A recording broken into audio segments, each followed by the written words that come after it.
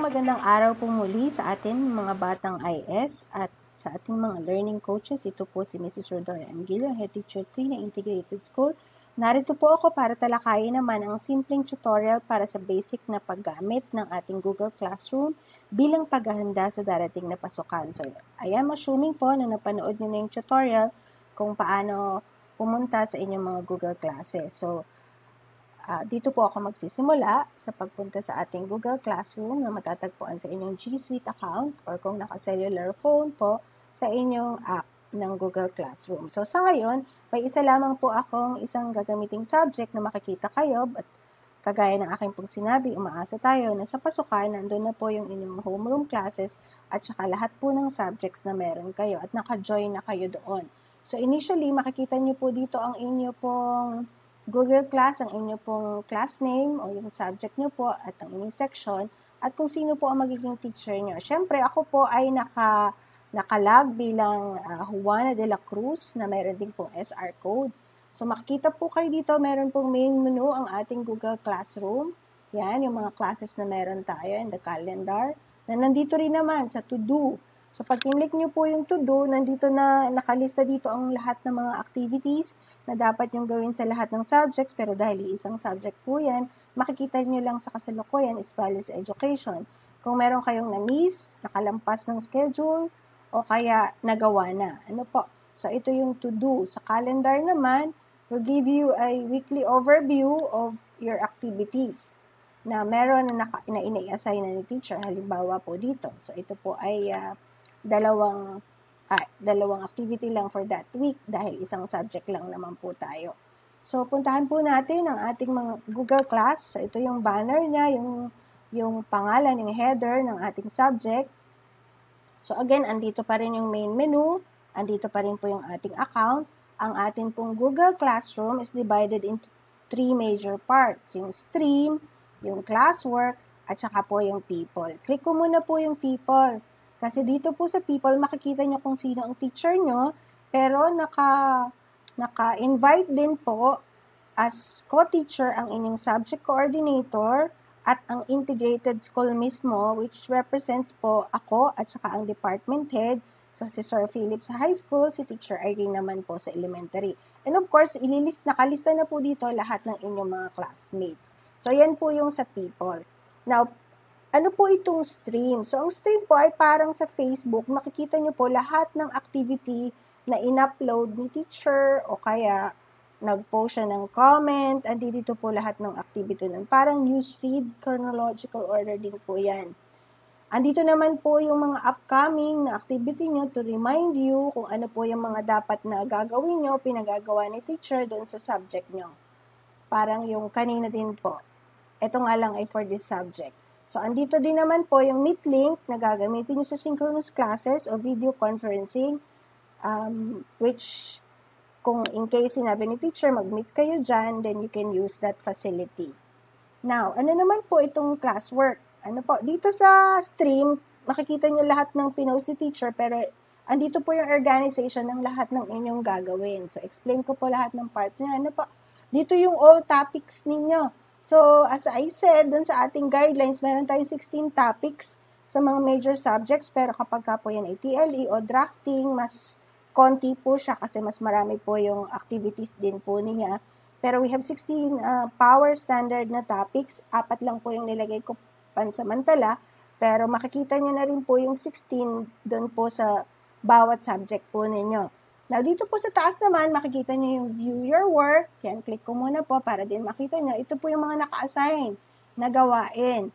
Um, dito nyo rin makikita yung grades in case na return na ni teacher o na-checka na yung inyong mga uh, pinerform na task o nasagutan na, na tests. Ano? Tapos, meron dito yung meet. Yan, ito po ang gagamitin natin sa synchronous although sometimes baka gumamit si teacher ng Zoom. But most of the time, ito po ang ating gagamitin, which is the Google Meet. Yan. So, ito, dito tayo mag-video conferencing. Uh, you can opt to, pagpapasok kayo ng, ng, ng Google Meet, be sure to turn off. Or ito, wala akong camera dito. So, we suggest na magkaroon tayo ng camera kapag ka-actual na ano. I-click nyo yung join now. Yan. So, pag nag-join kayo dyan, uh, you're supposed to be here at yung other classmates ninyo. Yan. So, pwede nyo rin naman siyang i-record, pwede rin naman hindi. Ano, so, yan yung inyong Google Meet. And your teacher will explain more of that later. Uh, how about naman itong Google Calendar? Kapareha din lang doon sa kaninang ipinakita ko, pero ito naman by subject. Yan. Usually, dito na ilalagay ni teacher kung anong oras ng, kung ano yung inyong pre-activity, kailan, o pwedeng directly dito nyo sagutan o puntahan, Or kung kay, Google Meet kayo, kung merong nakaschedule na synchronous meeting, dito nyo rin siya makikita sa inyong calendar. Okay? So, balik tayo dito. And the class drive folder naman will act as parang parang flash drive siya, pero syempre, nasa Google Drive na siya sa cloud. Um, dito nyo pwede, pwede kayo maglagay ng files nyo dito. Um, but then, sana yung related lang din sa inyong subject. Okay? Now, um, makikita nyo, nakalista din dito ang lahat ng mga subjects nyo at, at sa pasukan, sa lesson 1 nyo, sa aralin 1, nandito na yung mga dapat nyong gawin. Pero meron muna kayong introduction, syempre. Andito na yung lahat ng videos na ina-expect kayo na panoorin nyo sanang mabuti, like the, the BAT State Vision Mission, yung ating goals and dreams sa IS, at ang mensahe ng presidente, ilalagay din dyan ang aking ding message para sa inyo, ang syllabus, at importante din na mapanood ninyo yung introductory video kasi ito yung video ni teacher nyo doon sa subject mismo na magdi-discuss ng subject outline, uh, ng course outline. At andito din yung mga inaasahan natin doon sa subject and sometimes may magdi-discuss na dyan ng grading system, although hindi naman lahat, but still, ano, introduction lang naman siya. Sa mismong lesson, makikita natin sa lahat ng subject, merong four major components siya. Yung paunang gawain, tapos yung mismong leksyon, tapos application o performance task, or pwede rin na siya ay evaluation na o test na. At syempre, yung formative after nung nung ating nung ating lesson mismo ay makikita nyo rin. So, bawat subject meron silang unique terminologies, pero halos yun din ang laman. Ano?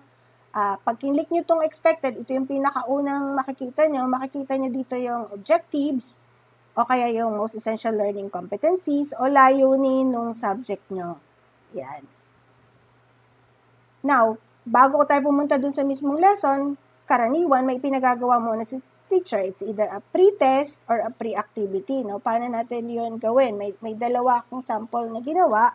Ang isa ay halimbawa ay um, gagawin nyo sa Google Docs. Yun nga pala, kung kayo ay naka-cellphone, importante na makapag-download din kayo ng app ng Google Docs. Although kapag ka naman desktop ang gamit nyo, uh, automatic naman nandoon yun sa inyong G Suite uh, portfolio. So kapag view natin yung assignment, halimbawa magsasagot ka, hindi kayo dito magsasagot, dito ka magsasagot na nakalagay yung pangalan mo din sa Google Docs. Pag kinlik natin yan, halimbawa nagsagot na ako, kunwari may sinagot na ako, lagyan ko lang ng pangalan, yan. Once na natapos tayo sa ating pagsasagot, uh, ano, katangian ng parehong taglay ng tao, mata, halimbawa, nilagay ko yung mata, at natapos na tayo dyan, huwag nyo kalimutan, ikiklik nyo yung turn in. Ano, para makabalik kayo doon, at meron pa siyang double, um, meron pa siyang second na pagtatanong if you would like to turn in yung iyong ginawa. Yan. Ibig sabihin, nakasubmit na tayo kay teacher once yan ay nag-turn in. Okay? Do that once more. So, ganun yung pagsasubmit ng activity galing sa, kung ang pinagagawa sa inyo ay doon magmumula sa isang file, dito kayo magto-turn in. Pwede siya mag-unsubmit kung may provision na ibibigay si, si teacher na pwede pang mag-unsubmit o hindi na. Okay? So, yun yung ating pre activity. So, kapag nasagutan na natin yung ating uh, pre-activity, so balik lang tayo doon. Yan. Dito na natin makikita yung mismong lesson ni teacher sa lesson concepts, dig deeper, o kaya pagpapalalim. Yan, magbibideo si teacher. Usually, uh, ah, 6 minutes, 7 minutes hanggang 15 minutes na video. Tapos, magdadagdag siya ng video na nasa YouTube na related at makikita nyo rin dito yung mismong write-up o module na nag, nagko-contain ng lahat ng lectures doon sa particular na lesson na yon o kaya ay aralin. Tapos pwede magbigay ulit si teacher ng performance task. Gamit ulit ang Google Docs or any document or ano mang ipapagawa niya. Uh, pwedeng mauna yung performance task, pwede rin naman mag-formative si teacher. Halimbawa naman, magte-test ka. So, assignment ang term doon kasi i-assign sa inyo yung test. So, halimbawa to, may test formative. Pag sinabi natin formative o pagtatasa, tinatasahan pa lang yung kaalaman natin.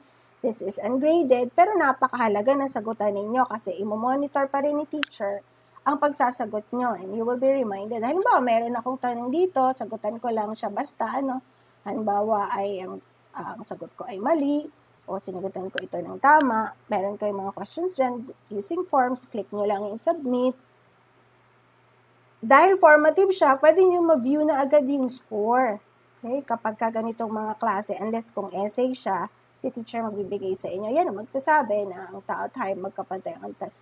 Ang sinagot ko ay tama, yung pala, ang tamang sagot ay mali. So, malalaman mo na agad kung saan ka nagkamali na, na sa iyong um, forms. Or kung i-click mo naman yung open assignment, then you will go back again doon sa iyong uh, yan. Meaning nagawa mo na siya, naka-turned in na siya.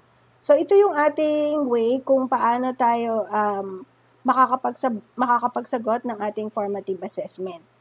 Now, um, minsan, aside from the performance task or formative assessment, may mga teachers din naman na nagbibigay ng question for reflection. Halimbawa ay naka, ano siya, ang format niya ay view question, kagaya nito, wala kayong makikitang attachment, pero pwede di, dito niya ipapalagay kung anong sagot. Ba, ano ang pinakahalaga mong natutunan sa araling ito at paano mo to pakikinabangan sa iyong buhay, pakikinabangan sa iyong buhay. Napadoble lang yung man.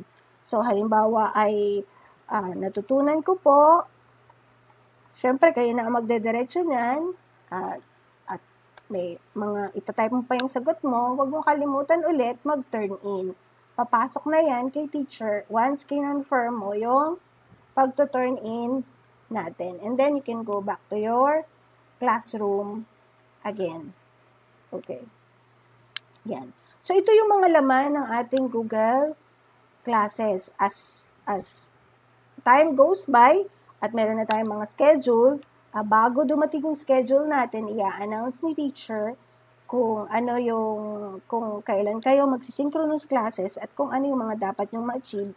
Therefore, you need to really check your classwork and check your schedule kasi doon nyo na malalaman kung ano ang mga dapat yung gawin. Ngayon, sa, kung ang gamit nyo naman ay tablet o cellular phone, ang tanging pinagkaiba lang itong stream, classwork, at saka people, yung major na difference ay sa baba nyo makikita yung menu. So, uh, basically, lahat naman to makikita nyo na sa inyong cellular phone. So, kung, kung may tanong naman kayo, at ang ibang detalye ay ipapaliwanag pa inyo ng, ng inyong subject teachers. Sa ngayon po ay sapat na itong basic na to, sapat na para kayo ay makapagsagot kayo ay ma-check ma- nyo kung saan makukuha yung mga lessons. And anytime you need a teacher, basta scheduled ng, hindi pala anytime, basta schedule ninyo, you can contact your advisor or teachers for your further na questions pa na sa tingin nyo ay hindi nyo naintindihan sa tutorial nito. God bless mga batang IS. I hope na intindihan ninyo ang basic na paggamit ng ating Google Classroom.